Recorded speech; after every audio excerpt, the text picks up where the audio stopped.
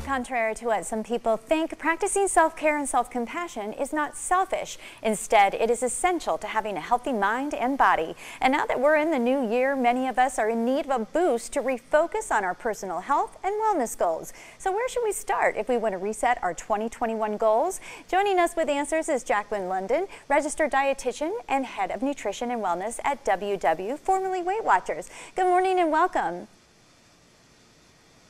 Good morning. Thanks for having me.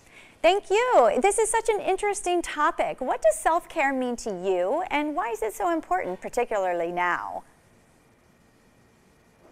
I think all of us are really coming back to the idea of putting personal health a little bit more front and center, even if it's not where we once thought it might be. So, finding ways to consider how self care can be truly dynamic. It's not a place, it's not a stagnant moment in time. It's a truly dynamic way and a framework in which we can all take care of ourselves by prioritizing personal health in ways that work best for us, making plans, and identifying the places that really feel like they are primed for opportunities for us to practice making choices that feel right for us, whether that is for our physical health, emotional health, psychological health, in ways that really work for us. Yes, absolutely. Can you elaborate on your tips and strategies that can help us? Sure. So, first of all, anytime you're starting a self care journey, it is thinking first and foremost about your environment, whether that environment is, is the same each day or if it changes.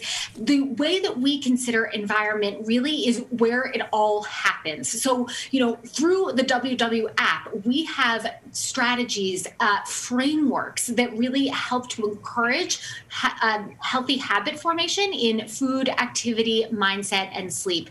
In other other words, your your physical space is meaningful, but it's also really meaningful to find ways in which you can create an environment, even in your phone, that really helps you find a framework that helps move you closer to your goals. Well, we rely on our phones for everything, right? So this makes perfect sense. Um, how is it that we can make goals that stick?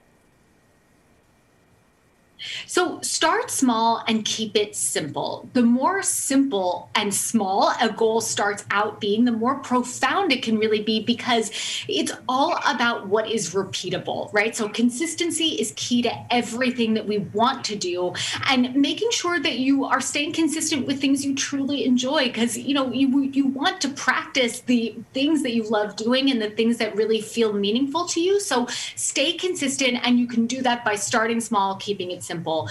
Then think about connection and community as a part of everything. You know, at, at WW, that is certainly a part of our DNA. We are all about connection and community, but finding ways to stay connected to one another, to the things that you love, to the meals that you love to eat, and the people with whom you love to share meals. These are all opportunities to foster that connection that so many of us need in, in order to create real sense of belonging in, in a challenging year plus for many of us. Oh, that's fantastic. Where can we go for more information? So you can check out everything at ww.com. The new MyWW Plus program really provides these real-time, real-life solutions that you can use anytime, anywhere. Ah, perfect. Thank you so much, Jacqueline. We appreciate your insight.